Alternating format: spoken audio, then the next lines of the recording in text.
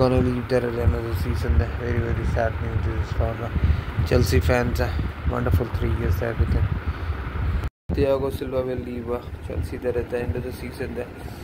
It's a tribute to him, and uh, yes, he's a Chelsea legend. Uh, nobody can uh, forget him. And so what a legendary career, career he had. Uh, three years uh, there with Chelsea there.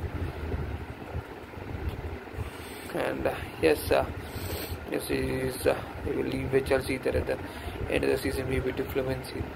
That's what everybody's talking about. Really hope uh, he ends with an eye there in the well and Thiago Silva for all his wonderful years there with Chelsea there. Thiago Silva will leave uh, Chelsea there at the end of the season there. It's a tribute to him and uh, yes, he's a Chelsea legend. Uh, nobody can uh, forget him. And so what a legendary career, career he had. Three years there with Chelsea there. And yes, uh, yes, he is. Uh, he will leave with Chelsea there at the end of the season. Maybe to Fluminense. That's what everybody's talking about. Really hope he ends with an eye there in the well and Thiago Silva for all his wonderful years there with Chelsea.